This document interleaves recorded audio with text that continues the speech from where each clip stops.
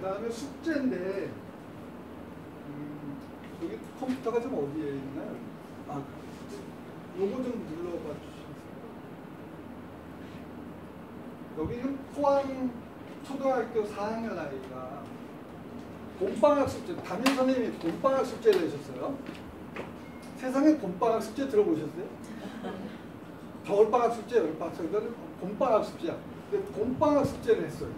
얘가 있어?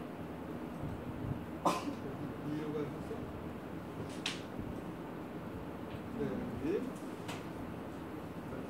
그냥 내려가시면 돼요. 얘가 뭐라면 2002년 1월 17일. 어, 1월 겨울방학이네 그럼 겨울방학 숙제. 느낀 점 같이 읽어보시겠습니다. 시작. 매일 밤마다 비슷비슷한 해서 좀 지겹고 보람 있는 것 같았는데 올해 겨울방학은 사전 만들기 위해서 더 재밌고 알찬 겨울방학을 보내는 겁니다. 쌤 점수 많이 많이 주세요.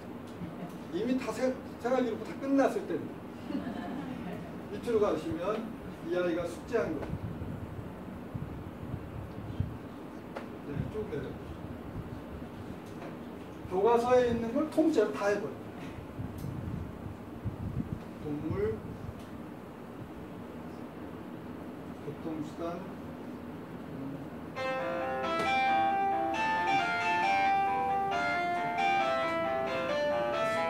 with